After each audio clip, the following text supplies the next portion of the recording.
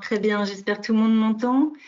Euh, si toutefois quelqu'un a un problème, n'hésitez pas à utiliser le chatter. Euh, ça nous permettra en fait de réagir euh, plus vite. Donc bonjour à tous. Je me présente, je m'appelle Nadine et j'ai en charge l'activité commerciale de Galigeo. Je tenais juste à faire une petite annonce concernant un changement sur le déroulé en fait de notre webinar.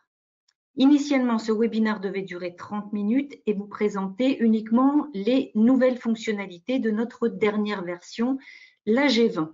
Mais au vu du grand nombre d'inscrits, nous vous proposons en fait de, changer un petit peu cet agenda. Donc, dans les 30 premières minutes, on se tiendra effectivement aux nouveautés.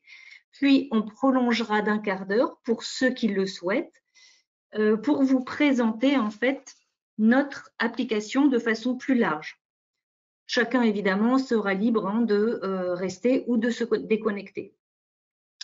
Je serai là aussi pour euh, recueillir vos questions tout au long du webinaire, donc n'hésitez pas à les poser là également euh, dans l'espace questions en bas de votre interface de GoToMeeting. Et enfin, bah, je vais laisser maintenant la parole à Vincent qui va nous faire cette présentation. Merci à tous. Merci Nadine. Euh, et donc voilà, merci à tous d'être euh, là aujourd'hui, euh, nombreux en ces temps un peu compliqués. Voilà, première pour nous parce que là le webinaire se fait entièrement entièrement à distance. Puis je pense que vous êtes vous aussi chacun chacun chez vous. donc voilà. Donc, en, guise d'introduction, évidemment, en, ces temps incertains, Galigio et tout ce qui est intelligence géographique, euh, sont là pour vous aider, euh, pour vous répondre, pour, vous permettre aussi de prendre les bonnes décisions. Voilà, le coronavirus va certainement fortement impacter euh, la manière dont vous travaillez aujourd'hui, la manière dont vous allez certainement aussi travailler demain. beaucoup d'entre vous vont être mis à contribution pour produire des analyses, savoir comment, comment voilà, leurs différents indicateurs vont être impactés par ce qui se passe aujourd'hui, par les, mesures du confinement. Et, et, bien évidemment, la, la, la, la euh, a un rôle à jouer euh, dans, cette, euh, voilà, dans, dans, ce, dans ce, ce, climat actuel. On sort une nouvelle version Galigio G20 qu'on avait prévu de sortir avant qu'on ait, ait, ces annonces de confinement. les équipes R&D ont quand même pu finir de travailler pour, vous, voilà, pour, pour permettre de, sortir cette, cette version là, qui, est, qui est sortie en, toute fin de semaine dernière. On y reviendra un peu, un peu plus tard. Et comme vous le voyez en, en bas de ce, de ce slide, euh, bien sûr, la G20 est disponible, euh, donc toujours pour euh, vous qui êtes dans votre environnement SAP API, la G20 est disponible. Ceux qui sont dans IBM, c'est la même chose. et on a aussi également la, G20 aussi disponible pour ceux qui utilisent les versions standalone de Galigio, à la fois sur John Premise ou directement, dans, le cloud. donc justement, en parlant de, en parlant de cloud, une petite, petite aparté. Euh, on, a lancé récemment donc euh, ce qu'on appelle le Galigio Cloud qui permet en fait d'exploiter euh, toutes les fonctions géoanalytics de l'outil Galigio directement en mode SaaS. Et donc la G20 est disponible en mode SaaS. Si vous avez du on-premise aujourd'hui chez vous, il n'y a, pas, a pas de souci. Hein. La G20 sera aussi disponible on-premise, il n'y a, pas de, a pas de problème. et, et, et, et, si, voilà, si comptez migrer, il n'y a pas de souci. Puis si, potentiellement vous, euh, pensez euh, euh, devenir client Galigio, vous aurez le choix du coup entre, entre être en, mode, SaaS, en, mode cloud ou alors en on-premise. Hein. Les, les, deux options restent, restent encore valides. en tout cas, voilà, c'était pour faire, faire cette annonce qui me semble quand même, quand même importante dans, voilà, aujourd'hui, surtout, surtout aujourd'hui dans une logique où, voilà, où peut-être le, le télétravail va de plus en plus se démocratiser on sera de moins en moins au bureau pour gérer les infrastructures. Donc, euh, le, cloud, le cloud fait du sens avec cette offre donc qui, euh, a son propre portail pour créer et gérer des analyses et, qui reprend toutes les fonctionnalités qui sont existantes dans le on-premise aujourd'hui, mais du coup qui sont, euh, portées dans, le cloud. et par rapport à cette, plateforme, vous avez peut-être vu une communication qu'on a fait passer sur les réseaux sociaux récemment. voilà, pour faire face aux conséquences du, coronavirus, on, on s'est mobilisé et on permet notamment, euh, euh, voilà, on a mis notamment à disposition cette plateforme SaaS euh, gratuitement pour aider les entreprises et voilà, notamment les entreprises du secteur public ou en tout cas d'utilité publique. voilà, ils peuvent avoir, peuvent faire la demande d'accès à cette plateforme gratuitement pour, pour faire face voilà, aux conséquences du coronavirus et Geijo met bien aussi, bien entendu aussi son expertise voilà, dans, cette démarche pour aider, voilà, aider les, différents organismes qui aident, voilà, qui aident la France à, rester debout dans, cette, dans ces temps difficiles. Donc, si, voilà, si vous voulez en savoir plus, n'hésitez pas à nous contacter après ce, après ce webinaire. On va passer maintenant aux, nouveautés. donc, comme vous pouvez le voir, une petite animation sur, sur la droite qui présente voilà, l'une des, grandes nouveautés de, la G20, qui est la possibilité d'animer des, cartes de flux. Euh, donc, euh, donc voilà, ce que ça permet notamment, euh, c'est de mieux comprendre la signification et, évidemment le sens du flux. C'est notamment le cas quand on avait, beaucoup de flux affichés en même temps, sur une carte. Parfois, on ne savait pas très bien si ça allait de A ou B ou de, B vers A. Donc ça, c'est pour le côté plus opérationnel. Et bien entendu, ce genre de visualisation participe énormément à, à créer des effets, ce qu'on appelle les effets waouh parmi, la, parmi la population euh, d'utilisateurs. Euh, parce que voilà, parce que c'est typiquement le type de visualisation qui voilà qui en, en, met plein la vue et aide à, l'adoption des outils BI et à l'adoption des différents rapports par les par les utilisateurs. Une nouveauté également, c'est la possibilité d'afficher toutes les informations dont on a besoin, mais en, simple coup d'œil. Ça, c'est une remarque qu'on nous faisait assez régulièrement, c'est-à-dire qu'on on avait la possibilité de cliquer euh, sur différentes choses sur la carte, hein, voilà, des, des, des, différentes informations, que ce soit des, polygones, des points, des lignes, ce qu'on représentait sur la carte.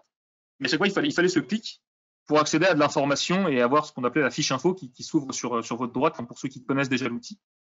Euh, et, et, et, en fait, on avait cette remarque que, euh, que parfois on voulait avoir l'information directement accessible sans avoir à cliquer quelque part. Et donc c'est pour ça que voilà, maintenant il y a notamment la possibilité de paramétrer, comme on le voit sur la droite, un, une infobulle personnalisée qui s'ouvrira simplement au survol de la souris. Euh, et quand je dis personnalisé, c'est dire qu'elle est capable d'afficher euh, n'importe quel type euh, de, valeurs, que ce soit des valeurs qui viennent directement de vos données, mais aussi des images, du texte, etc., en fonction, de, vos besoins.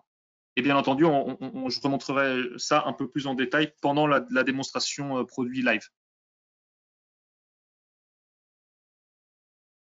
Également, une autre nouveauté, c'est on, on a complètement repensé le système d'annotation. Euh, donc le système d'annotation permettait notamment de partager euh, des insights, des commentaires euh, directement sur la carte avec d'autres collaborateurs.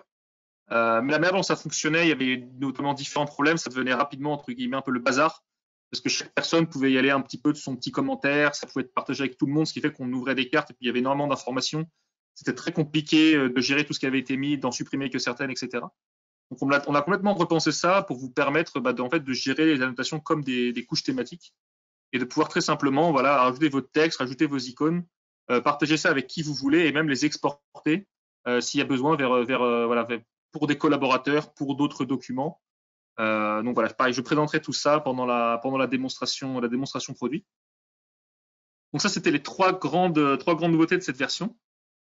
Bien entendu, il y a plein d'autres nouveautés à côté et, évidemment, vous aurez accès à la fin de ce webinaire à un, lien qui, qui, donne en détail justement un petit peu toutes les, les, les améliorations qu'on a apportées à cette, à cette nouvelle version, euh, les différentes choses qu'on a pu corriger, qu'on a pu modifier, etc.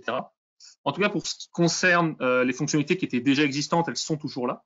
Donc, si jamais vous êtes déjà client et comptez migrer en G20, vous pouvez le faire l'esprit tranquille. Vous retrouvez toutes les fonctionnalités que vous avez déjà créées. Euh, toutes, euh, toutes les cartes et les rapports que vous avez déjà créés continueront de fonctionner sans qu'il y ait aucun souci. Et vous bénéficierez bien sûr des, des nouvelles fonctionnalités euh, et donc aussi pour les anciennes, telles qu'on le voit à droite, que vous ayez créé des, des heatmaps, des, séries temporelles, que vous ayez personnalisé euh, le thème de Galigio, vous utilisez le, le, le, le module d'impression pour, imprimer des cartes en, PDF. Tout ça continue de, fonctionner. Euh, et comme Nadine l'a dit, euh, pour ce webinaire là, comme il y a vraiment vraiment beaucoup de monde et, pas mal de gens qui, sont nouveaux et, on ne sait pas exactement s'ils connaissent la, profondeur de, ce qu'ils connaissent dans, le produit, euh, après la, démonstration qui concernera les nouveautés produits, à la fin du webinaire, on aura euh, une démonstration plus complète. Ceux qui souhaitent euh, rester, là, on, représentera de manière un peu générale toutes, les nouvelles fonctionnalités, pardon, toutes les fonctionnalités du produit, nouvelles et anciennes incluses. et même pour ceux qui connaissent déjà l'outil, ça peut être l'occasion aussi de se, se remémorer peut-être certaines fonctionnalités que vous avez oubliées, dont vous vous, vous servez peut-être pas, euh, ou peut-être pas euh, de la manière dont, euh, dont le, le, les fonctionnalités ont été conçues. Donc, je pense que ça peut être très intéressant pour, pour tout le monde. On va passer au, à la démonstration produit.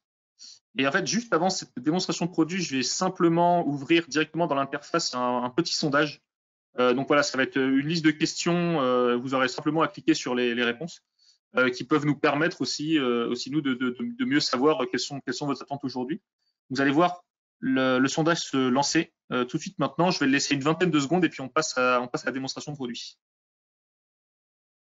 normalement, ça devrait être ouvert. Donc voilà, n'hésitez pas à répondre. Et puis, euh, en attendant, je vais charger la démonstration produit.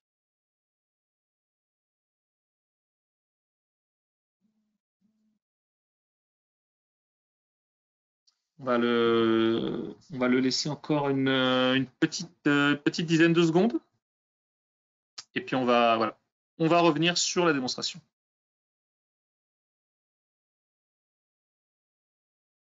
Ok, très bien. Donc ça va, ça fait, ça fait 30 secondes. hop, normalement, le sondage va se fermer. Merci à tous ceux qui ont, qui ont répondu. Euh, et, puis, euh, et puis voilà. Hop, normalement, vous, vous êtes revenu sur, euh, normalement, là, sur l'interface où on voit, on voit une, carte Galigio. Alors, je vais vraiment essayer de vous présenter ici, c'est vraiment l'outil Galigio en tant que tel. Bien entendu, voilà, certains d'entre vous utilisent l'outil Galigio intégré dans SAP, certains c'est dans IBM, euh, certains, euh, voilà, certains c'est dans d'autres outils à travers l'API, etc. Euh, comme voilà, comme il est difficile évidemment de contenter tout le monde, je vais, présenter essentiellement les fonctionnalités de Galigio. Et puis après, je ferai un petit, aparté pour vous montrer ce que ça donne aussi intégré dans, SAP, intégré dans IBM. Euh, voilà, parce que, parce que certains d'entre vous euh, ont, ont, ces solutions intégrées dans d'autres outils BI. Euh, donc la démonstration qu'on a ici, qu'est-ce qu'on voit sur la carte? On voit en fait une, carte de flux euh, qui présente euh, euh, différentes choses. Notamment, il y a des petits icônes, chaque icône représentant un type de site différent. En fait, on a des usines de production qui sont à Tokyo et à Taïwan. Ensuite, on a des, grossistes intermédiaires qui en fait sont chargés de redispatcher en fait les produits produits les produits qui, sont destinés à être consommés vers les, les, différents grands pôles de consommation. Donc là, on voit Paris, Barcelone, New York, etc., etc. Donc là, on a une chaîne logistique un peu, standard euh, euh, euh, voilà, pour, un acteur qui pourrait être un, acteur de la logistique. Et bien sûr, voilà, peut-être que vous, vous travaillez plus à l'échelle juste du territoire français, mais vous pouvez aussi avoir les mêmes problématiques avec des flux internes, à la France. Et donc, évidemment, évidemment, en ce moment, avec, le coronavirus, les, chaînes logistiques se retrouvent vraiment impactées. Donc, ce qu'on voit ici, c'est que j'ai créé déjà d'autres types d'analyses. Euh, ce qu'on peut voir ici, c'est qu'on a par exemple, on peut afficher les pays qui ont euh, émis des restrictions en, ce qui concerne les imports de marchandises. Donc suite justement au déclenchement des différentes politiques de confinement, etc. Euh, bah, par exemple, ce qui veut dire que l'exemple typique, l'usine qui envoyait de Tokyo à Varsovie, eh ben, va avoir des problèmes puisque du coup, Varsovie va peut-être mettre plus de temps à réceptionner les marchandises et à les redispatcher. Et donc peut-être qu'il faut faire de l'optimisation de flux logistiques et tout redispatcher vers, le, la, plaque tournante de, Riyad au lieu de, de, Varsovie.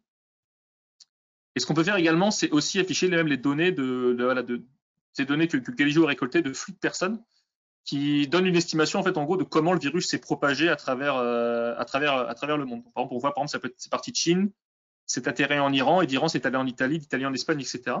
Donc quand on analyse comme ça, qui commence déjà à être assez riche, on se retrouve avec pas mal d'informations et, là on voit qu'au niveau des flux, eh ben, on se retrouve avec pas mal de flux et euh, notamment par exemple les flux logistiques.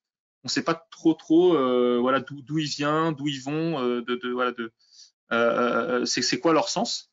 Et donc justement on peut on peut décider de les animer pour vraiment vraiment créer des visualisations qui sont qui permettent de prendre de prendre toute la mesure de, ce qu'on représente en, en, un seul clin d'œil. Donc en fait ça va se faire de manière très facile. Ici, quand on a une thématique de flux, on a juste en fait besoin de l'éditer et on a une nouvelle option qui s'appelle utiliser des flux animés. On a juste besoin de la cocher, de la sauvegarder et automatiquement les flux vont se mettre, comme vous pouvez le voir, à être animés, animés sur la carte sans qu'on ait besoin de, rien, configurer d'autre. Tout ce qui est KPI associé, euh, couleur, etc. reste en place. Par contre, on a cette, animation qui commence et là, on se rend vraiment tout de suite compte euh, de la direction des flux et de, comment, comment transitent les flux à travers le monde. Et bien sûr, on peut faire la même chose aussi pour, euh, là, pour les cas du, coronavirus, là où on a la, couleur qui représente le, euh, le nombre de cas et, non, pardon, la, taille qui représente le nombre de cas et la couleur le nombre de morts. Euh, hop, de la même manière, ici, je vais pouvoir faire utiliser un flux de, hop, utiliser un flux animé. Et donc là, on, se rend compte que maintenant, bah voilà, on a, deux flux animés euh, en même temps sur la carte qui peuvent nous permettre de, bah, voir que voilà que, que, que finalement le, sens des flux va un peu avec le sens de, des flux migratoires de, personnes qui ont, qui ont transporté le, coronavirus. Et voilà, ça, ça permet de, pouvoir rapidement prendre des décisions. Supposons qu'on ait ce, ce, rapport-là euh, disponible. Tous les jours, on peut le mettre à jour, peut-être s'il y a des, des, nouvelles restrictions de pays, etc. Et on peut essayer d'adapter au mieux sa chaîne logistique ou décider de fermer des usines euh, si, voilà, si les pays euh, décident de, voilà, des logiques de confinement, de, de, fermer, de fermer certains centres logistiques. on peut rapidement prendre des décisions avec, avec ce type de rapport. Et voilà, on, on voit bien que ce côté animation quelque chose de très plaisant à l'œil et, voilà, suscite totalement un effet wow. En tout cas, nous, on l'a déjà montré à certains de nos clients et de, nos prospects, sont toujours unanimes, c'est vraiment des visualisations qu'ils aiment, beaucoup. Quand on a ce, type de visualisation, euh, comme je vous disais tout à l'heure, euh, on, veut par exemple savoir avoir plus de détails sur, euh, l'usine de Barcelone. Et eh bien avant, il fallait cliquer pour accéder à l'information. Maintenant, on peut juste passer sa souris. On a une petite infobulle qui s'ouvre où là, on a différentes informations. Alors, comme on voit, il y a le nom de, la ville plus le type de, euh, le, type d'entrepôt. donc là, wholesaler, ça, ça, veut dire grossiste, donc c'est un grossiste. Euh, et on a l'image en dessous euh, qui nous montre vraiment l'image du pôle ici à Barcelone. Donc on pourrait, on pourrait, voilà, on pourrait personnaliser l'infobulle de, différentes manières, ajouter d'autres données, mettre de la couleur. En fait, vous pouvez même, pour parler un peu technique, la personnaliser entièrement avec du HTML, bah, ce qui vous permet de faire vraiment ce que vous voulez euh, et, d'afficher vraiment le contenu que vous voulez simplement en, survolant, en, cette, infobulle. Une autre fonctionnalité donc également que je montrais tout à l'heure, c'est la possibilité maintenant de créer des annotations. Euh, voilà, le système d'annotation euh, complètement repensé. Avant les annotations, il y avait un, onglet ici directement qui s'appelait annotation. Donc vous constaterez que ce, cet onglet a disparu et qu'à la place des annotations se crée directement ici depuis l'onglet de thématique dans lequel je suis. Ici, j'ai le choix entre créer une analyse thématique, hein, comme j'ai déjà pré-créé ici sur la carte, ou alors ajouter ce qu'on appelle une couche de dessin, qui va vous permettre en fait de dessiner librement et d'acheter des annotations euh, en fonction de, vos besoins. Donc, par exemple, supposons qu'ici j'ai envie de laisser une annotation euh, sur, euh, le, grossiste ici à, Riyad. Eh ben, j'ai ma couche d'annotation, donc je peux la renommer si je veux, hein, je peux renommer le groupe. Je peux placer ici un petit, icône à côté, et puis en cliquant sur l'icône, je peux écrire du texte euh, et les textes faire passer euh, les flux logistiques ici, voilà, etc. Je peux, je peux, je peux, je peux mettre mon texte, je peux bouger, je peux bouger l'icône si j'en ai envie.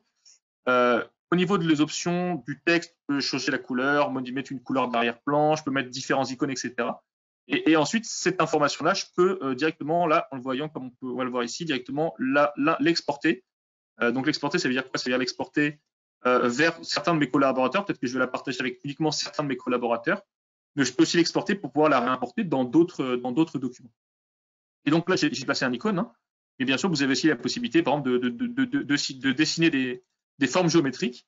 Et, et, ces formes géométriques, pareil, de, leur mettre des commentaires et ces commentaires même euh, euh, et ces formes géométriques directement les exporter euh, dans des fichiers géographiques que vous pouvez rouvrir, mais après dans d'autres logiciels de type de type SIG, etc. Et donc, comme je le montrais, bah, ici on peut créer différentes différentes couches d'annotation. je pourrais en créer une nouvelle ça va en créer une deuxième et puis voilà, je peux librement choisir de les afficher, de les cacher. Et c'est un petit peu ce qui manquait dans l'ancien système où une fois qu'on en avait euh, pas mal sur la carte, eh ben, ça devenait compliqué de les enlever, de les gérer, de dire je laisse celle-ci affichée mais pas celle-là. Euh, voilà, il fallait les retrouver, il fallait les supprimer. Là maintenant, on peut, on peut directement euh, zoomer dessus, les contrôler de manière, de manière plus, plus aisée. et il y a même aussi même la possibilité de, de, de, de les, directement de les lier à, des, à, des, à des objets sur la carte qui peuvent provenir de vos données pour directement commenter je ne sais pas l'exemple typique, hein, vous, êtes en charge des, accidents euh, de, de l'accidentologie. Euh, vous pouvez directement euh, cliquer sur un accident qui provient de, vos bases de données métiers, ajouter un commentaire qui peut potentiellement même derrière se sauvegarder en base, être, être sauvegardé au niveau du document. tout ça, ce sont des choses que permettent désormais les annotations. C'est tout pour moi par rapport aux, nouveautés produits. Donc évidemment là, c'est évidemment plus pour les gens qui connaissent déjà, euh, l'outil, euh, l'outil Galigio. Euh, et comme je le disais tout à l'heure, voilà, tout à l'heure après, avoir, conclu les derniers slides du webinaire, on reviendra sur une autre démonstration qui elle présentera, de manière plus détaillée les, différentes fonctionnalités.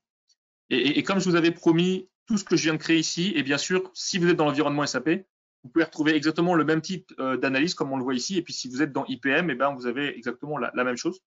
Et comme je le disais, hein, si vous utilisez l'API, que vous avez embarqué la carte Galigeo euh, dans votre propre portail, dans une application tierce, euh, tout ce que j'ai montré aujourd'hui, tout ce que j'ai présenté, Et de manière générale, tout ce qui est en G20 est bien sûr disponible dans ces outils. Il n'y a vraiment, vraiment pas de problème là-dessus. Hein.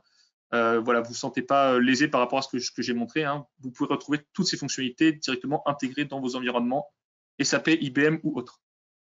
Euh, Vincent, on me demande en fait si euh, cette version est disponible en fait en téléchargement pour faire un test. Alors notamment dans SAP. Enfin, plus précisément dans Webi. Dans Webi, d'accord. Alors tout à fait. comme je le disais aujourd'hui, donc la G20 est déjà sortie. Euh, elle est sortie en, fin de semaine dernière avec, avec un peu de retard, euh, notamment par rapport à tout ce qui s'est passé. Et donc, euh, donc le, tout, les, tout, est à jour de notre côté. Donc, si aujourd'hui vous allez sur le site de Galigeo et que vous allez dans, dans, dans, dans la, la, sur la page SAP, vous avez la possibilité de télécharger tous ces produits en, en démonstration de 30 jours. Et évidemment, c'est la version G20 que vous allez télécharger. Donc, tout ce que, tout ce que je présente, je présente aujourd'hui. Il n'y a pas de, pas de souci, que ce soit sur SAP, sur IBM, sur l'API, sur ce que vous voulez, c'est disponible en téléchargement pour, euh, pour essayer. Et si vous êtes client, bien sûr, et que, et que vous êtes sous maintenance, euh, vous pouvez bien sûr télécharger la version, euh, la version complète pour, pour mettre à jour depuis une version antérieure de, de On va repasser de même rapidement, là j'ai encore quelques slides avant de repasser sur la, démonstration, il reste environ 7-8 minutes. avant, avant de prendre vos questions, je vais juste vous demander un autre petit sondage rapidement avant que, pour me permettre de repasser de manière propre sur, sur les slides. Donc pareil que tout à l'heure, là vous, vous y répondez directement depuis la, depuis l'interface. Je, je, le lance, ça va s'afficher à peu près une vingtaine de secondes et puis voilà, n'hésitez pas à y répondre. Normalement c'est lancé. Je repasse sur mes slides.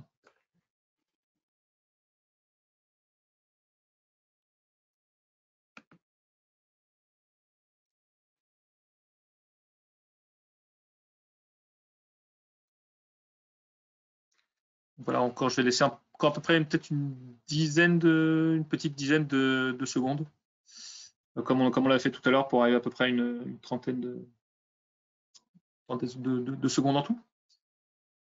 Euh, très bien. Euh, je vois qu'il y a beaucoup, beaucoup de réponses, plus que tout à l'heure. Donc, je vois que ça vous emballe plus que, le sujet par rapport au, coronavirus. Je, vais peut-être attendre un petit peu que. je vois qu'il y, a beaucoup de votes qui sont actuellement collectés. Donc, parfait. Voilà, je vais laisser encore, encore 5 secondes et puis j'attends que de voir si ça continue de bouger ou pas.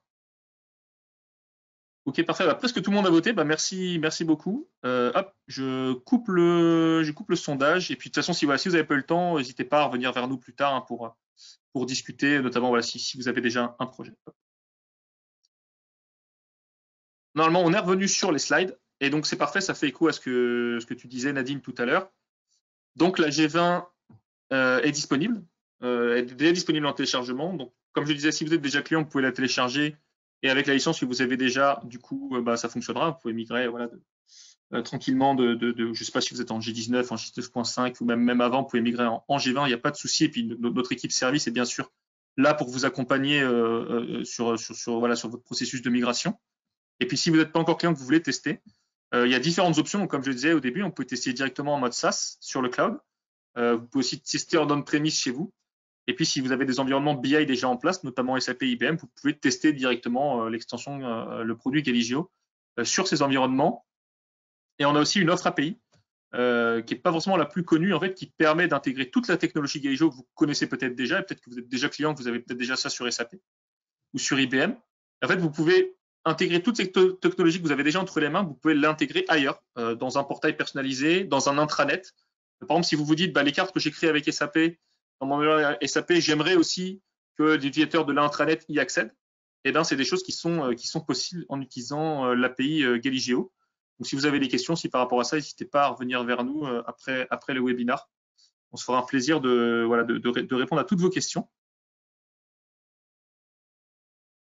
On va passer aux, aux questions-réponses avant de commencer la démonstration produit plus, plus globale pour ceux qui sont intéressés. Alors, est-ce que, Nadine, est-ce que il y a quelques questions. Alors, il y a, il y a quelques questions euh, auxquelles j'ai répondu en direct, effectivement, notamment euh, concernant la vidéo. Les, questions, j'allais dire, euh, qui ne sont pas forcément liées aux fonctionnalités de, la, de notre application. Par contre, mhm.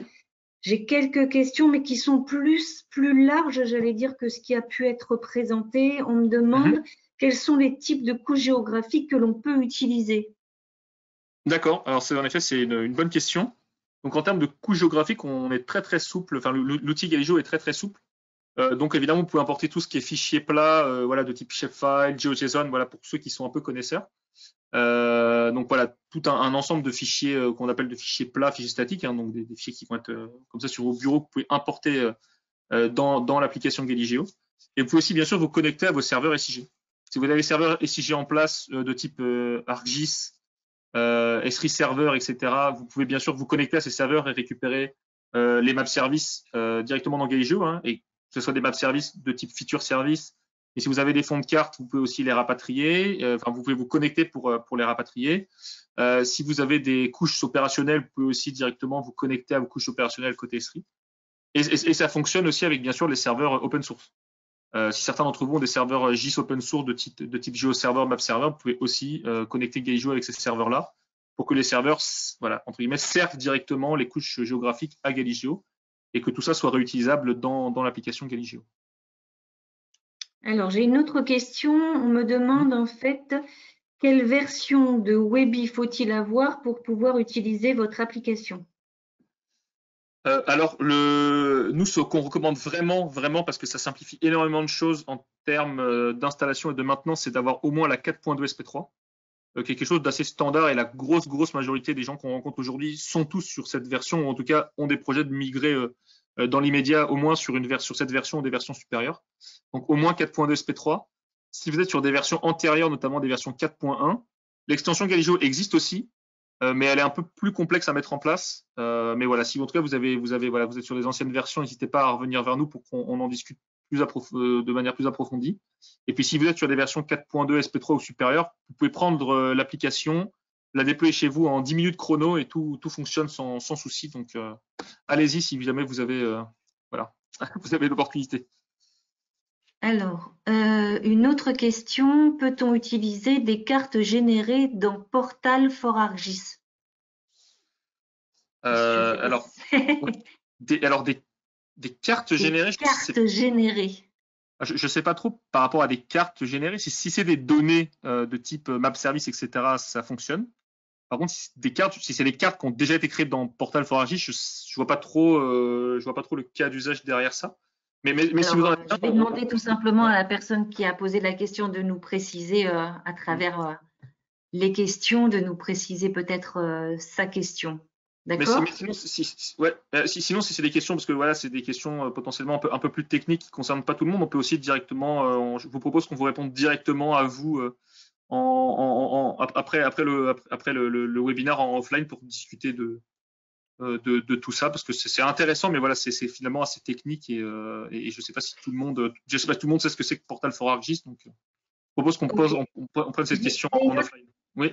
Ok, j'ai une autre question, on y reviendra peut-être après à la précédente. Mhm. Euh, pour faire fonctionner les flux, quelles particularités faut-il avoir dans ces données? Euh, alors c'est une très bonne question. Euh, en fait, il en faut presque aucune. Il faut simplement que, en gros, vous ayez ce qu'on appelle des mappers. Vous en ayez deux pour une source de données. Qu'on appelle un mapper, c'est qu'en fait, vous avez un jeu de données, donc un jeu de données classique, hein, de type BI ou Excel, etc. Où vous avez différentes colonnes, différentes dimensions. Et en fait, en gros, bah, vous allez dire, bah, tel, par exemple, tel, je vais prendre un exemple, un telle dimension, il y a le, dedans le nom de mes régions, donc c'est quelque chose que je peux afficher sur la carte. Et puis dans une autre, j'ai euh, la latitude et la longitude de mes agences, donc c'est aussi quelque chose que je peux afficher sur une carte. Et en fait, à partir du moment où j'ai dans un même jeu de données deux choses que je peux afficher sur une carte euh, qui viennent d'un même jeu de données, je peux créer euh, une relation de flux entre les deux. C'est quelque chose qui se fait très facilement et si vous voulez, euh, si vous si vous avez l'occasion de rester après après cet appel, si vous voulez, je pourrais rapidement vous montrer comment ça fonctionne, mais c'est quelque chose qui est très simple à mettre en place n'y a pas besoin d'avoir des choses très spécifiques dans ces données. Hein. Alors, évidemment, il vaut mieux avoir déjà dans, dans, ces données quand même une relation de bah, d'origine et de destination hein, pour que ça fasse du sens qu'on présente sur la carte. Mais techniquement, vous avez juste besoin d'avoir potentiellement deux choses représentables sur une carte à partir d'un même jeu de données, ce qui est très souvent le cas, et donc créer des flux est vraiment, vraiment quelque chose de, de très facile. Ok. Merci Vincent. Une, autre question, alors là ça concerne plus euh, de l'accompagnement, mais je vais peut-être d'ailleurs y répondre. Euh, on me demande en fait s'il est possible d'avoir des formations à distance. Alors euh, oui, il est tout à fait possible en fait, surtout dans cette période où beaucoup d'entre nous télétravaillons, d'organiser des sessions à distance. c'est quelque chose qu'on pratique d'ailleurs chez Galigéo, tout simplement parce que on travaille beaucoup avec l'international et on ne se déplace pas forcément. Donc oui, c'est tout à fait envisageable. Et pour ça, on peut en rediscuter évidemment en dehors de ce, de ce webinaire. Hein. Il suffit de reprendre contact avec nous pour voir euh, comment est-ce qu'on peut s'organiser. Voilà. Et enfin, j'ai une dernière question, mais qui est un peu technique et on va s'arrêter là. Euh, on me demande, euh, est-ce que les cartes dans Webi peuvent être intégrées en cher éléments Les éléments partagés, c'est ce que je comprends? Les éléments partagés, tout à fait. Euh, non, tout à fait, c'est une question, euh, une question intéressante. Donc, en, effet, évidemment, ça concerne voilà, les gens qui aujourd'hui sont, euh, sont utilisent nos produits dans l'environnement SAP. donc, les cartes Galigé, en fait, pour, voilà, pour ceux qui connaissent un peu, sont ce qu'on appelle des custom elements. En fait, c'est possible dans Webi de, de, prendre un élément et de dire que ça devient un shared element. et en fait, il, apparaît dans, dans, une liste, une liste dédiée, hein, qui voilà, une liste d'éléments partagés. Et en fait, quand vous créez un nouveau rapport, vous pouvez directement récupérer euh, ces éléments partagés et les éléments se rouvrent avec leur source de données, etc., sans que vous ayez besoin de reconfigurer quoi que ce soit, euh, de refaire une query euh, et de remettre, remettre la carte en place ou l'élément en place. Et donc, en effet, la carte Caligio fonctionne en, en, en shared element, ce qui peut être notamment très intéressant. je vous donne un exemple basique. Hein. Vous avez, vous créez une carte où dessus, vous, êtes, un département, une région, vous gérez euh, un certain nombre d'établissements scolaires, des collèges, des lycées, et vous avez euh, créé une carte où vous avez euh, tous vos collèges, tous vos lycées avec le, nombre d'effectifs sur l'année. Peut-être que cette carte-là, vous en avez besoin dans plusieurs rapports, mais vous n'avez pas vous n'avez pas envie de la recréer à chaque fois et de réimporter la source de données à chaque fois. Vous pouvez la créer dans un rapport, en faire un shared element, donc un élément partagé, et après directement remettre cet élément partagé dans d'autres rapports. Et donc, la carte s'affichera avec, les bonnes données, euh, les bons effectifs, etc., même si euh, les rapports dans lesquels vous l'importez ont d'autres sources de données et parlent d'autres choses. C'est quelque chose qui peut être très intéressant pour, euh, gagner en agilité et pour, éviter parfois de faire le travail en doublon ou de, perdre du temps à faire le travail plusieurs fois. Donc, question technique, mais, mais intéressante tout de même à, préciser. Vincent, j'ai encore une dernière question. Est-ce que c'est envisageable d'y répondre, même si elle est un peu particulière, je crois? Mais est-ce que je peux te solliciter encore? Oui, bah, pas de souci. Après, on va essayer d'aller très vite sur cette réponse. On me demande est-il imprudent d'installer directement la version d'essai de Galigio sur un serveur de prod Webi? Alors, moi, j'aurais tendance à répondre oui, euh, bah, mais je vais peut-être compléter ce type de, réponse. Bah, de toute façon, je dirais de manière générale, est-ce qu'il est imprudent de déployer des choses sur une prod sans, les avoir testées avant sur d'autres environnements? La réponse, c'est toujours oui, hein, peu importe que ce soit oui. ou autre chose. Euh, après, oui, en effet, c'est imprudent. Après, l'extension Galigio est quand même quelque chose d'assez euh, euh, robuste, d'assez robuste et de, voilà, qui, qui, finalement qui est très peu intrusive dans, dans, en fait, dans, dans, l'environnement SAP ou même dans d'autres environnements comme, comme Cognos et comme IBM Cognos, etc. c'est juste voilà, une petite chose à paramétrer une fois que vous avez déployé le serveur Galigio dans, dans la CMC de, de SAP, BO. Après, après, euh, est-ce que c'est imprudent? Je, voilà, je peux pas vous dire non, c'est pas imprudent, faites-le. Hein. C'est sûr que le mieux, c'est de, voilà, c'est d'abord tester sur un environnement euh, de développement, c'est l'idéal. De recettes, si vraiment vous n'avez pas environnement de développement. Si vous avez qu'un environnement et que l'environnement vous sert de production et que vous devez le tester et que vous voulez vraiment le tester dans Webi, bah dans ce cas-là, évidemment, voilà, bah, faudra l'installer sur de la prod. Après, si c'est juste tester l'outil, euh, comme je le disais tout à l'heure, nous, on a, on a, aussi une plateforme, une plateforme SaaS. Hein, si, si, jamais vous avez un projet de vrais besoins on peut vous mettre cette plateforme à disposition que déjà vous testiez le produit, euh, le produit vraiment gagé en tant que tel avant de le voir intégré dans, dans Webi. Et puis ensuite, après, à voir comment c'est comment c'est possible de, l'intégrer. Mais bon, la réponse est non, bien sûr. la réponse, pardon, c'est imprudent. oui, très bien.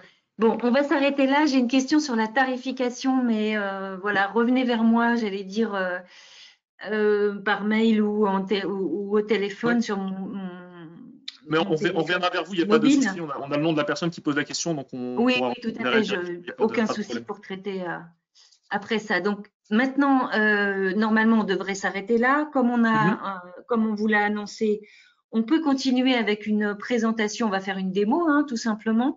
De, de, de, cette application pour vous montrer plus de fonctionnalités, surtout évidemment pour ceux qui ne sont pas clients et qui voudraient en découvrir un peu plus.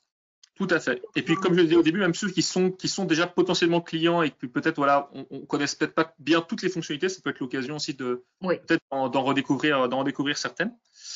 Euh, alors oui, je suis simplement un petit, voilà, ce, petit slide avant de passer à la démonstration.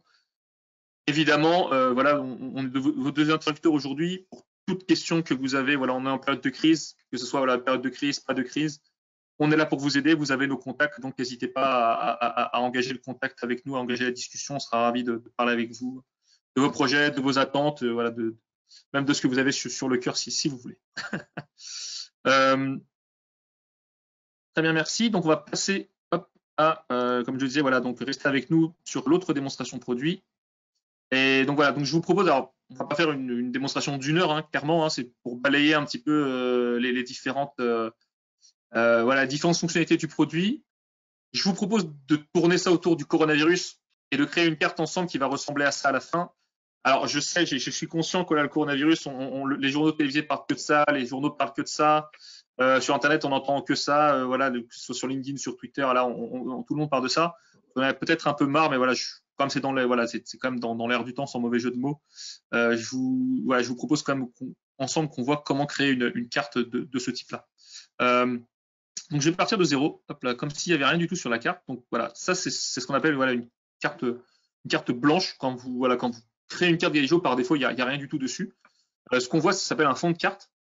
Euh, donc le fond de carte, en fait, c'est juste quelque chose, c'est un repère visuel qui vous permet de vous situer dans l'espace et qui vous donne plus ou moins d'informations euh, en fonction de, vos besoins. Ici à gauche, on a un menu. c'est le menu qui permet de contrôler toutes les fonctionnalités principales de Galigio et on va essayer de passer rapidement sur, sur chacune d'entre elles. Sur la droite, on a aussi différentes choses qui sont notamment la légende euh, quand on va créer des couches thématiques à partir de, différentes données. On a aussi un outil de recherche euh, textuelle où par exemple on peut taper le nom d'une ville et automatiquement la carte va zoomer sur, euh, sur le nom de cette ville-là. Et à droite, on a les différentes options classiques. Hein. si vous connaissez Google Maps, vous ne serez pas dépaysé, hein, qui permettent de zoomer, d'ouvrir l'aide, voilà, d'ouvrir la carte en plein écran si, si vous avez, vous avez différents, différentes, si vous avez ces différents besoins. Vous pouvez contrôler la carte aussi directement avec votre souris. Euh, vous pouvez zoomer, dézoomer. Ça, c'est vraiment du classique comme vous pouvez vous y attendre avec, euh, avec voilà, un, outil, un outil cartographique classique. Donc, je, parlais du fond de carte, euh, donc ce qu'on appelle les fonds de plan. Donc, je vais commencer par là. Donc, par défaut, on fournit un certain nombre de fonds de plan, comme vous pouvez le voir ici. Donc, on a voilà, ceux qui proviennent de serveurs S3. On en a différents. Hein. On a des, voilà, ceux qui sont assez épurés, qui permettent de représenter assez bien des choses quand on est à des échelles macro, notamment au niveau de la France. Euh, on a des vues, euh, voilà, on a des vues plus précises, on a des vues satellites, donc on a vraiment différentes choses euh, qui vous permettent de, voilà, d'avoir un, support visuel pertinent en fonction de, en fonction de votre besoin. Tous ces fonds de cartes qu'on fournit, donc on a aussi du OpenStreetMap et d'autres fournisseurs sont fournis en, standard dans notre produit. Hein. donc vous n'avez pas besoin d'acheter des licences supplémentaires. Quand vous achetez des, quand vous avez des licences Gayjo, vous avez accès à tous ces fonds de cartes là. et bien entendu, comme je l'ai dit tout à l'heure, si vous avez vos propres fonds de cartes, euh, si vous avez vos propres fonds de carte, parce que vous avez par exemple un serveur S3, vous avez vos propres fonds de plan, vous pouvez les utiliser dans l'outil dans l'outil Galigio. Donc une fois, alors je vais voilà, je vais, je vais choisir je vais choisir celui-ci parce qu'il est, plutôt, euh, plaisant à l'œil. C'est la possibilité après évidemment de, récupérer vos données et d'en faire quelque chose, de, de, les afficher sur une carte. Donc ici on a un panneau qui s'appelle données. On va voir en fait l'ensemble euh, des jeux de données qui sont disponibles sur la carte. Si vous êtes dans un environnement BI, ben vous, en avez, un par défaut, euh, c'est votre requête BI qui alimente votre rapport. Vous êtes dans Webi, vous avez fait votre query qui peut venir d'un univers, qui peut venir de, qui peut venir de SAP HANA, qui peut venir de BW, en fait, de peu importe. Hein. Euh, tout ça, c'est agnostique pour, euh, voilà, Galijo est vraiment agnostique à la source de données. vous, vous allez avoir directement votre, votre requête avec les différents indicateurs et différentes dimensions que vous avez mis à l'intérieur qui sera disponible directement dans la carte Galigeo. Et si vous utilisez l'outil en standalone, bah vous, pareil, vous pouvez vous connecter à vos bases de données euh, SQL, euh, à vos univers. Vous pouvez même aussi importer des fichiers Excel euh, si, vous le, si vous le souhaitez pour pouvoir créer vos propres, voilà, pour pouvoir entre guillemets, voilà, faire, vos propres analyses avec, avec les données, peu importe, comme je disais, des, sources de données.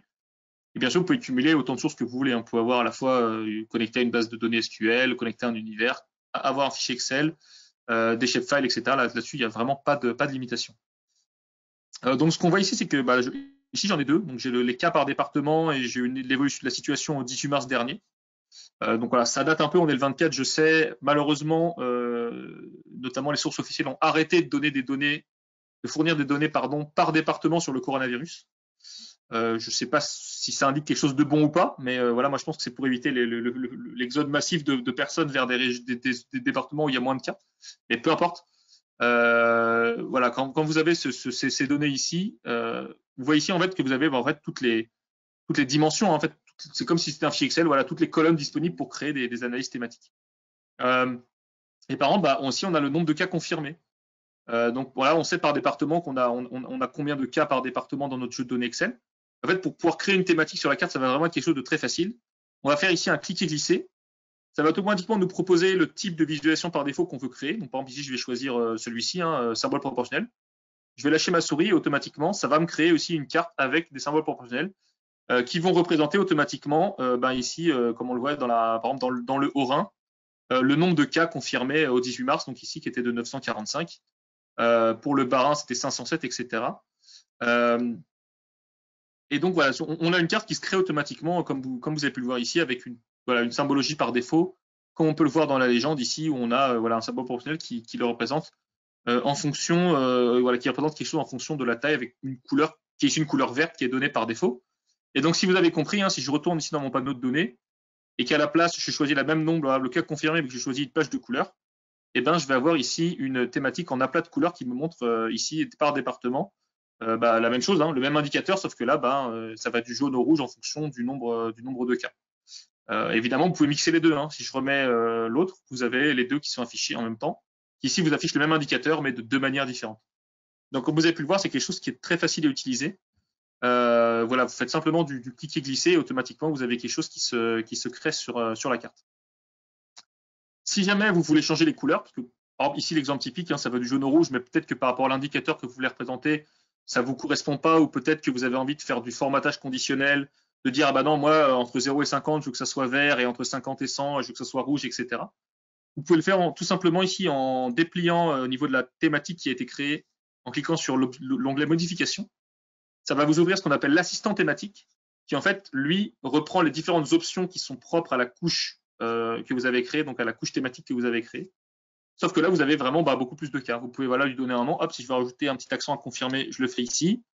Vous avez ici la distribution euh, de l'indicateur euh, qui est choisi, donc le nombre de cas confirmés avec euh, voilà, une, une, distribution par classe.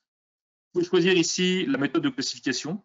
Est-ce que je fais des effectifs égaux? Est-ce que je fais des intervalles égaux? Comme je le disais, est-ce que je vais faire de la classification manuelle? Ensuite, je vais pouvoir choisir plus ou moins de classes. Pour chacune des classes, je vais pouvoir choisir la couleur, la couleur de la bordure, etc aussi directement utiliser un des thèmes euh, préconçus. Je vais en prendre un au hasard. Par exemple, je vais prendre celui-ci, voir si qui va de, violet à, jaune. Je ne sais pas si c'est le plus pertinent, mais c'est pour vous montrer un, exemple. Euh, vous avez aussi la possibilité voilà, d'ajouter des étiquettes.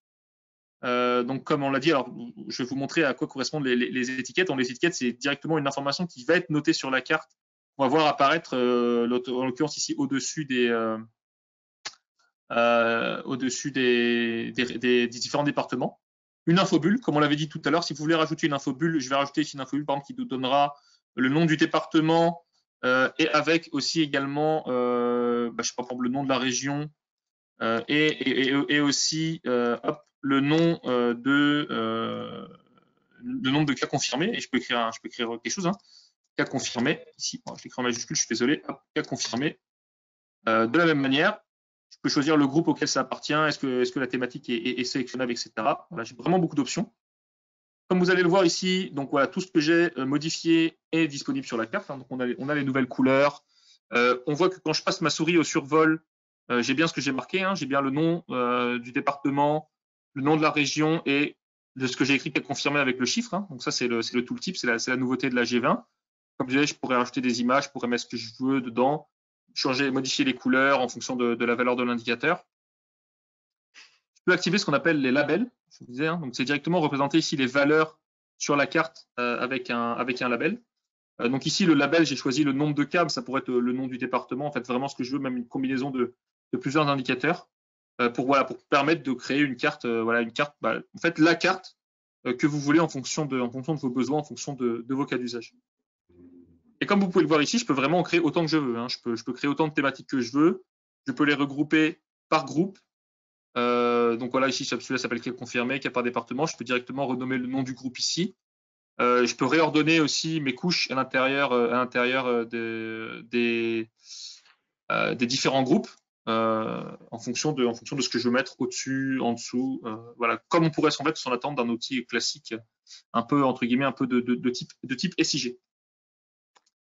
C'est super, euh, Vincent. Et c'est juste les couleurs que tu as choisies dans le mauvais sens. Mais c'est pas grave. Ah, pardon. je, suis, désolé. En effet, le, jaune est la couleur la, couleur la plus élevée et la violette la, moins élevée. Je, suis désolé. Je suis désolé.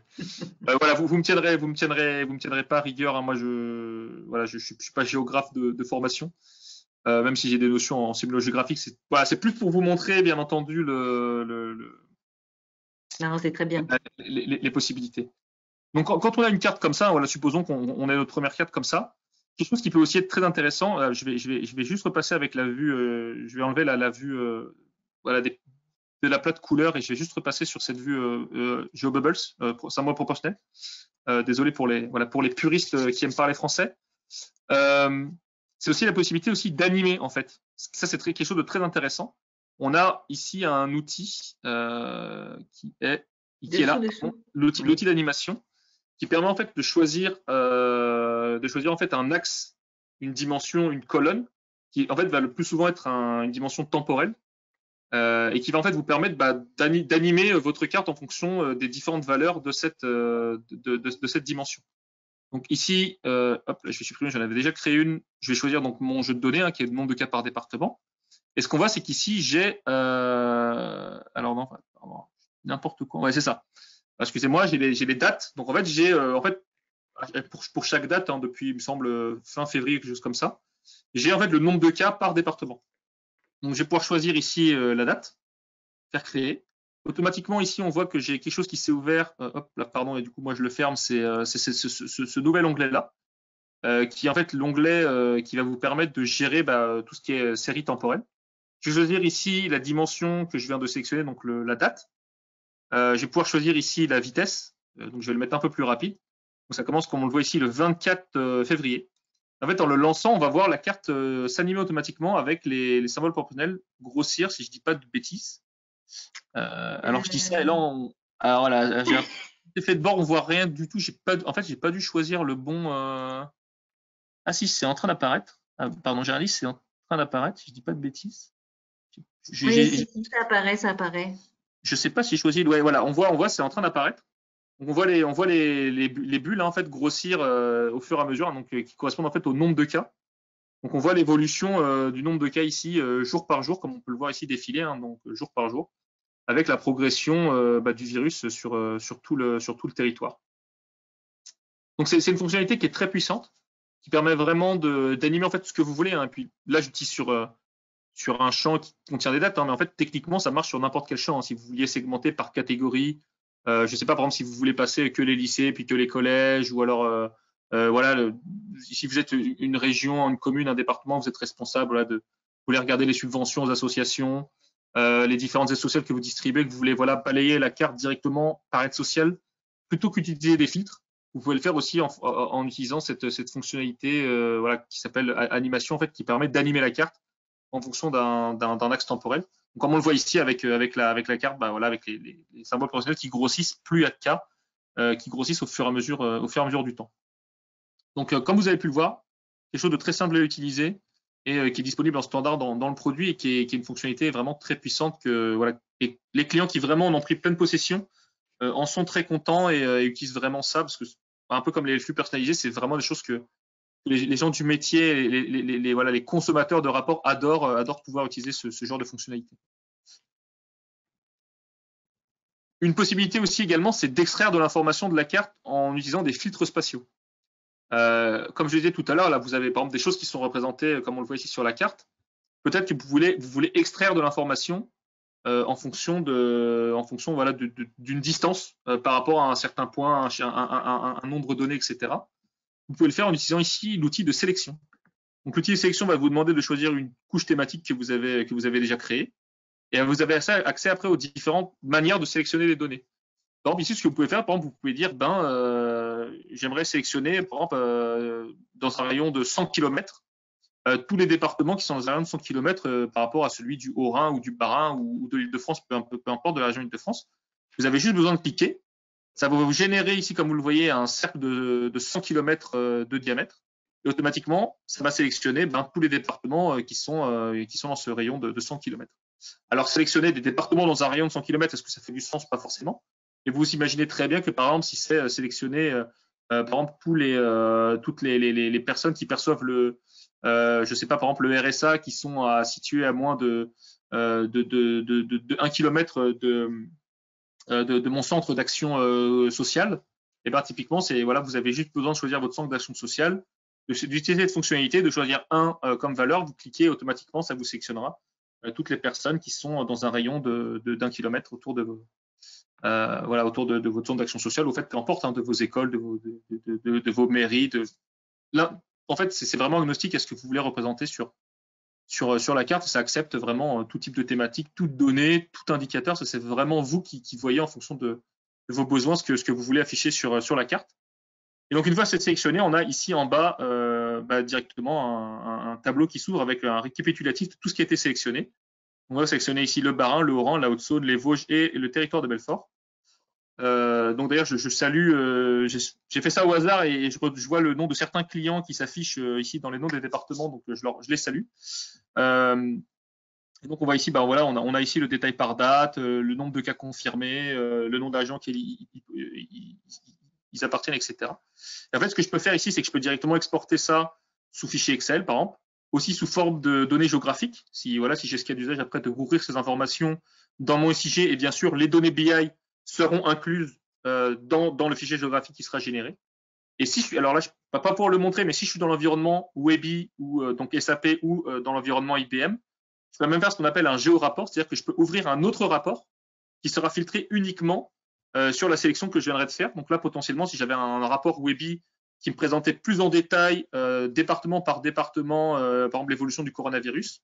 Donc j'ai un rapport qui présente à l'échelle nationale et j'en ai un autre qui présente plus en détail à l'échelle départementale. Et ben, je pourrais ouvrir celui qui présente les choses à l'échelle départementale, filtré uniquement euh, sur ces cinq euh, sur ces cinq départements euh, qui ont qui ont été sélectionnés ici avec la ma fonctionnalité. Donc, comme je le disais, j'ai d'autres types de fonctionnalités. Hein, donc, notamment, euh, je peux faire, je peux dessiner à main levée. Euh, je peux aussi faire de la sélection basée sur un temps de trajet. Euh, alors là, évidemment, à l'échelle du département, ça fait pas de sens. mais si là, je vais, zoomer un petit peu pour vous montrer à quoi, ça ressemble. Alors, ça peut-être rien sélectionné du tout. Je suis désolé. je vais choisir exemple un autre fond de carte pour vous montrer vraiment à quoi ressemble par un fond de carte au niveau au niveau rue. Donc, on peut le remarquer, on peut vraiment descendre, je sais que pas prisé, mais vraiment jusqu'au niveau rue. On a le nom des rues, on a le numéro des rues, on pourrait même avoir euh, voilà les différentes les différentes boutiques, euh, les, différents magasins, les hôtels, les hôpitaux, tout ce qu'on veut afficher sur la carte. Euh, et ici, par exemple, si je retourne dans mon outil de sélection et que je choisis, bah, par exemple ici une sélection par, temps de trajet. Voilà, si je dis si je me place ici et que je conduis 10 minutes et que je vais juste, je vais juste dézoomer un petit peu pour qu'on voit un peu mieux. voilà, alors là, on voit, on voit un peu mieux.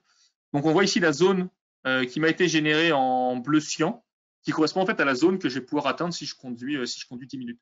Et notamment quand vous travaillez à des échelles qui sont voilà, plus petites au niveau de la commune, au niveau des iris, en fonction de vos cas d'usage, bah, c'est une fonctionnalité qui peut vraiment faire du sens parce que bah, voilà, vous avez parfois des gens qui se déplacent en voiture et euh, vous voulez, je sais pas, vous avez une classification de savoir, par exemple, euh, la, ville s'est agrandie, il y a un nouveau quartier qui se construit, vous devez construire une nouvelle école. Euh, bah, ça peut être intéressant de savoir exactement parfois en fonction des terrains disponibles où la construire et notamment ce, ce, cette fonctionnalité peut vous permettre de savoir que ben voilà si les gens entre guillemets si vous savez qu'ils font plus que 15 minutes de voiture le matin pour emmener leurs enfants à l'école ça les fait euh, voilà ça les embête un peu ben, vous pouvez adapter au mieux en fonction de, des zones d'habitation des zones de vie de différentes personnes grâce à, à, cette, à cette fonctionnalité quelque chose qui va aussi bien sûr être faisable et ça c'est évidemment très important c'est d'imprimer la carte euh, donc, vous pouvez directement imprimer soit la carte euh, en utilisant la fonction d'impression comme vous voyez ici. Euh, fonction d'impression qui va permettre de mettre à disposition différents templates. Donc, template d'impression, ça veut dire quoi? Ça veut dire qu'évidemment, vous avez une zone pour la carte, une zone pour la légende, vous avez un titre, vous avez un logo. par défaut, Galijo fournit les templates avec des logos Galijo, hein, je le précise. et donc, ces templates sont personnalisables. alors là, c'est voilà, un peu technique, c'est quelque chose qui nécessite peut-être un peu plus de compétences techniques, mais nos équipes euh, services peuvent aussi vous aider à mettre, à mettre ça en place. Euh, et bien sûr, si vous êtes dans des environnements Webi ou IBM Cognos, vous pouvez aussi directement utiliser les fonctions de, de rapport PDF de ces outils-là pour exporter le rapport complet donc le rapport avec, euh, avec vos tableaux à côté, avec euh, vos différents graphiques, etc. Et la carte Galijo sera elle aussi, euh, fera aussi, elle aussi partie du rapport sans, sans aucun problème. Donc voilà, vous savez, cette, cette, cette fonctionnalité à disposition. Euh, et ce qui, est, ce qui est même aussi intéressant, c'est que quand vous êtes dans des environnements type SAP ou Webi, euh, vous pouvez mettre à disposition, euh, vous pouvez mettre en place aussi un système d'impression automatique. donc en fait, c'est ce qu'on appelle un job planning. Euh, donc en fait la planification de tâches qui va permettre, par exemple, qui va dire bah, tous les pas tous les dimanches soirs, euh, automatiquement il y a un processus qui va venir injecter les nouvelles données euh, de la semaine qui est passée dans le rapport et donc dans la carte Galigio. automatiquement ça va produire un rapport PDF et ce rapport PDF va être envoyé, je sais pas, au préfet de la région, au préfet, aux différents préfets et aux différents administrés principaux de mon département, de ma région, etc., de ma commune. Et ils vont tous recevoir par mail, comme ça le lundi matin, ils arrivent, ils ont un mail euh, dans, leur, euh, dans leur boîte mail qui leur résume bah, tout ce qui s'est passé avec un rapport, tout ce qui s'est passé euh, la semaine dernière, directement dans un PDF disponible dans, dans, leur boîte mail. Et donc, ils auront bien sûr la carte Galigeo intégrée dedans avec, avec les dernières données. Et c'est quelque chose qu'on peut mettre en place, notamment voilà, dans les outils SAP et, IBM, c'est des choses qui sont vraiment très faciles à mettre en place, qui sont pas forcément toujours connues, mais en tout cas qui sont très puissantes et qui peuvent permettre d'automatiser beaucoup de choses va permettre d'automatiser beaucoup de choses et de, commencer à distribuer de manière un peu opérationnelle euh, vos, différents rapports. Et bien sûr, je précise quand même parce que c'est des questions qu'on a parfois, la carte dans le PDF n'est pas interactive. Hein. Bien sûr, c'est une image de la carte hein, qui, est, exportée dans le PDF. Euh, Aujourd'hui, la technologie ne permet pas encore d'intégrer des cartes, euh, des cartes modifiables dans le PDF, peut-être dans le futur. En tout cas, aujourd'hui, voilà, c'est une image qui est, qui, était, qui est exportée. et donc voilà, vous avez ces fonctionnalités qui sont, qui sont à disposition. Euh, je me rends compte qu'il est déjà 16 heures. On a très, largement dépassé. Il y a encore beaucoup de fonctionnalités. Hein. Le, produit est vraiment très très riche. J'essaie de vous résumer là en on va dire 25 minutes les principales fonctionnalités. Il y en a bien sûr encore beaucoup d'autres. Hein.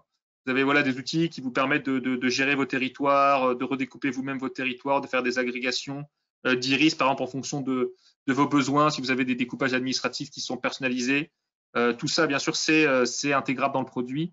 J'ai pas montré la partie plus technique qui consiste à, par exemple, à dire comment est-ce qu'on se connecte à son serveur S3, comment on importe ses données géographiques, comment on les connecte à ses données euh, euh, BI, etc. Parce que c'est des choses un peu plus, euh, voilà, un peu moins entre guillemets sexy à montrer. En tout cas, voilà, c'est une, partie administration, configuration, bien sûr, qui est présente dans, l'outil. Donc voilà, j'espère que vous avez bien résumé le produit. Vous, êtes en fait très nombreux à être encore restés pour cette, ce, post-webinar, si on peut appeler ça comme ça. Si euh, voilà, j'espère vous avoir donné envie, si vous connaissez pas encore l'outil, en tout cas voilà, de l'essayer et, essayer de vous démontrer tout le potentiel, en tout cas en, peu de temps, le, potentiel de l'outil. Si vous voulez approfondir, bien sûr, n'hésitez pas à revenir vers nous. Et puis, si vous voulez tester par vous-même, comme je l'ai dit, euh, vous allez sur notre site web et puis euh, vous pouvez télécharger des versions, des versions d'essai de 30 jours complètes du, produit. je vais m'arrêter là. Un, un petit une petite information. le webinaire a été enregistré il vous sera mis à disposition. Donc, euh, si vous avez besoin soit de le revoir, soit de évidemment le faire passer à quelqu'un d'autre, n'hésitez pas, vous recevrez en fait euh, assez rapidement le lien vers euh, cette vidéo. On va s'arrêter là peut-être parce qu'il est tard. On va s'arrêter là, tout à fait. Merci beaucoup à tous. Merci à toi, Vincent. Et si vous avez besoin de nous poser encore des questions, eh bien, revenez vers nous. On se fera un plaisir, en fait, d'y répondre. Merci beaucoup à tous. Merci à tous, merci et bonne journée.